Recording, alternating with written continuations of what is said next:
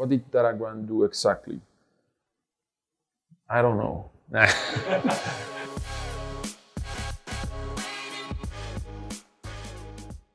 we uh, selected Datagran because we saw in them a mix of two things. First, uh, relevant expertise, right? The things that Datagran does are becoming more and more relevant in our in our day-to-day operations.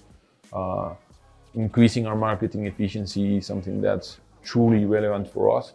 And the second thing is a team, right? I think that whenever you're working with startups, uh, having uh, the right team uh, in order to trust them with the results you're looking for is critical. And I think that the uh, first impression that we had from the Datagran, Datagran team was amazing.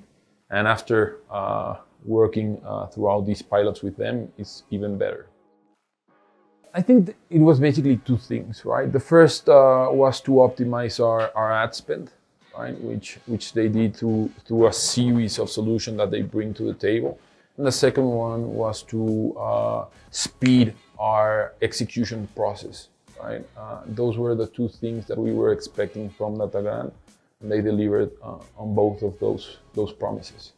The world is changing faster every day, and I think innovation is the only way for us to stay ahead of the curve and keep delivering this amazing growth that everyone inside and near our company is expecting us to, to deliver.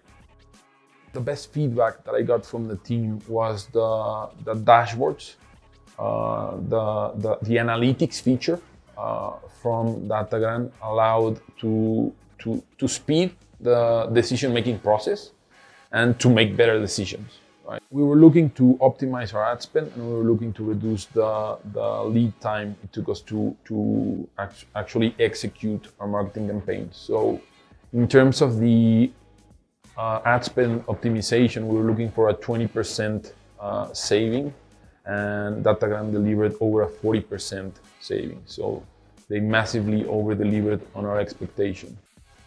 I see marketing going to, to one-to-one relationships. Right? I think that uh, mass media is is dead already. It just hasn't uh, realized it yet. So as we move into this uh, incredibly personalized world, uh, digital is the is the name of the game, and having the tools and the right partners to help us implement and keep advancing those tools is critical. And I think that that's where Datagran comes in, right? So we have uh, amazing marketeers inside ABI. Now we have uh, teams like La Fabrica, which are doing an unbelievable job in moving uh, uh, the, the, needle forward in the right direction. I think that having uh, partners like Datagran is the missing piece for us to, to keep building on, on the amazing brands that we have.